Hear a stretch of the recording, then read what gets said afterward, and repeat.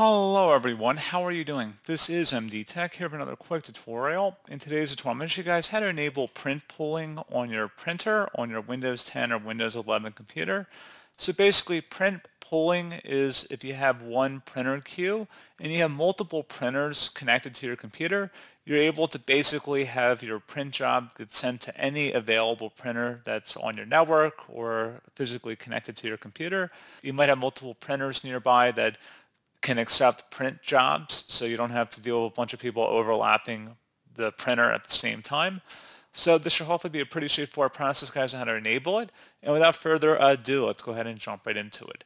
So all you have to do is open up the search menu and type in control panel.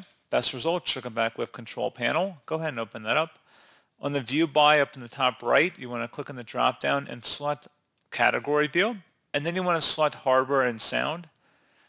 Underneath devices and printers, or I should say selecting devices and printers, go ahead and select that.